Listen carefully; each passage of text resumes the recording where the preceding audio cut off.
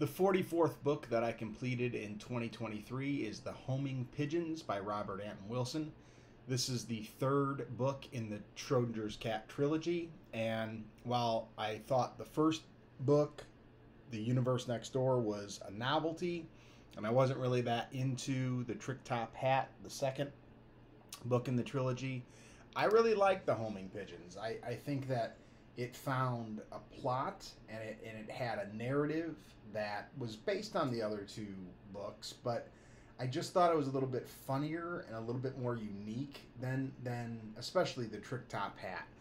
A lot of uh, a lot of the sexual acts in in the homing pigeons, almost all of the sexual acts are named after people. So like Potter stewarding, uh, Supreme Court justice, or uh, Rehnquist, another Supreme Court justice. These become um, these become metaphors for for sexual activity, sexual actions, and I think it's pretty funny.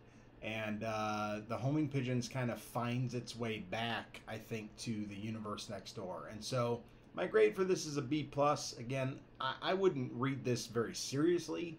Um, in a lot of ways, it reminds me of Gravity's Rainbow by. Um, I'm having a, a brain freeze right now. Gravity's Rainbow by Thomas Pynchon, of course and um, you know that that maybe it's it's meant to be funny and it's not meant to be as serious as as perhaps people people take it. But then again, it could just be going over my head. Anyway, I think overall the Schrodinger's Cat trilogy is worth reading if you're reading it for fun if you're reading it to laugh out loud.